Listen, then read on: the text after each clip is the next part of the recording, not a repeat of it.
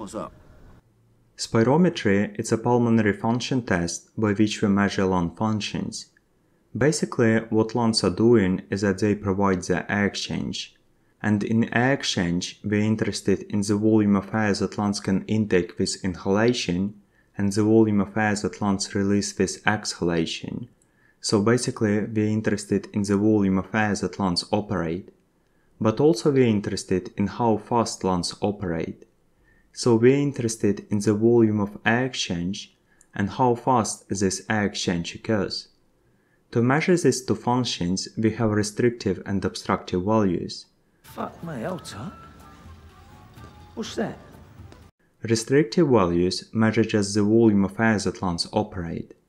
Obstructive values tell us about the speed of air exchange.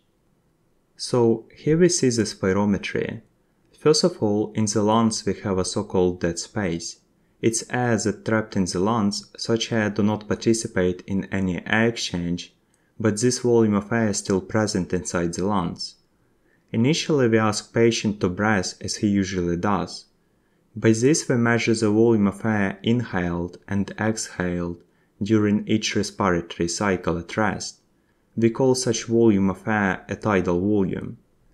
After patient should take a deep inspiration and then patient should breath out all air as fast as he can. As we know, we cannot operate the air in the dead space. In spirometry, the volume of air that we cannot operate we call residual volume. The volume of air that we can operate we call vital capacity. And the total amount of air in the lungs we call total lung capacity. So basically, total lung capacity is the sum of residual volume and vital capacity. Actually, for spirometry, it's all you need to know. As we see, residual volume, vital capacity and total lung capacity are volumes. They describe the capacity of lung to store air, but none of them tell us about the speed of air exchange. So we call them restrictive values, because if they are decreased, then something causes restriction to the lung tissue that causes decrease in lung air space. Have I made myself clear, boys? Yeah, that's perfectly clear, Mickey, yeah. Just give me one minute to confer with my colleague.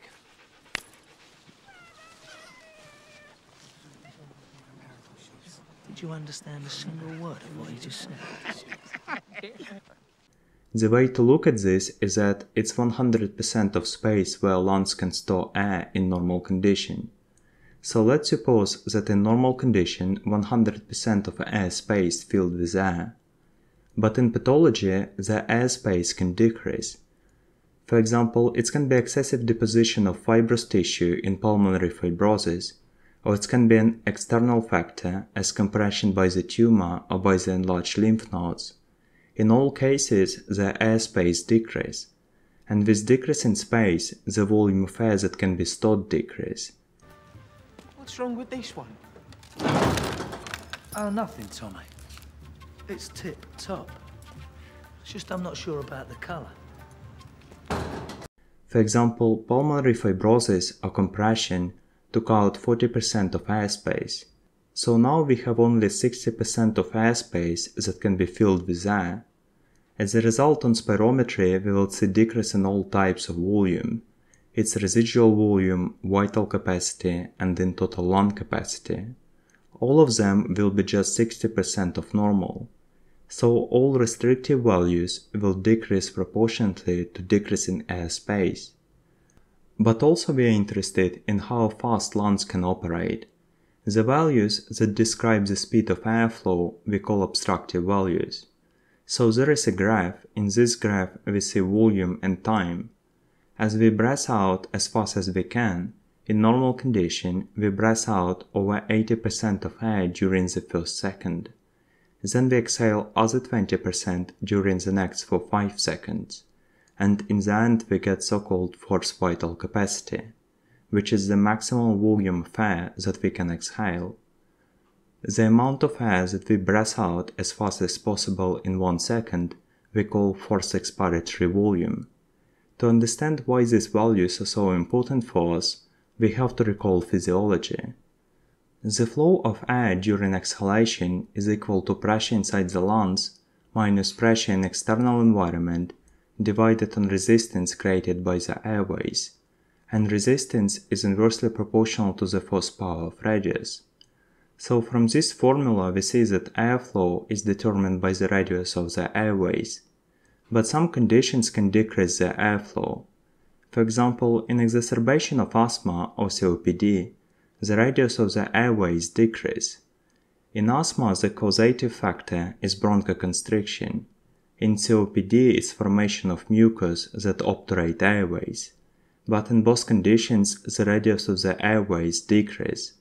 With decrease in radius, resistance increase, and with increase in resistance, airflow decrease. So in patient with exacerbation of asthma, airflow is significantly lower. Because airflow is lower during the first second, they cannot exhale 80% of air. What? For example, in moderate asthma, bronchoconstriction is moderate. As a result, the radius of the airways moderately decreased. That cause moderate increase in resistance, thereby airflow will be moderately decreased. As a result, forced expiratory volume will be lower than normal, 65% for example. And after some period of time, patient will breath out the same amount of air as in normal state. So forced expiratory volume will be the same as in normal condition. In severe asthma, bronchoconstriction is severe. Severe bronchoconstriction causes severe decrease in radius of the airways that cause severe increase in resistance. Thereby airflow will be severely decreased. As a result, forced expiratory volume will be very low, 40% for example. So force expiratory volume in 1 second is the first obstructive value that we use. As a second value to measure obstruction, we use ratio, which is force expiratory volume in 1 second over forced vital capacity.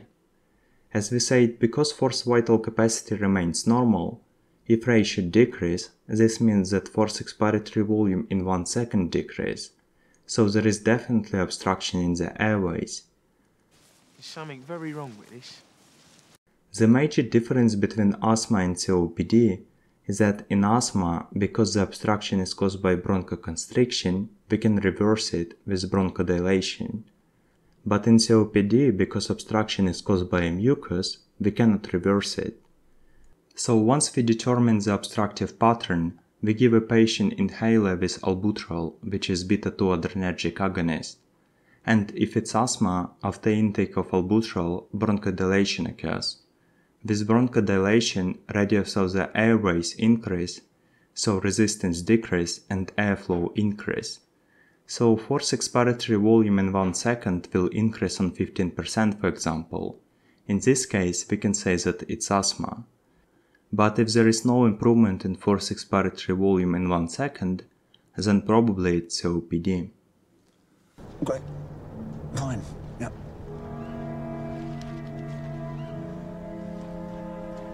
Ciao.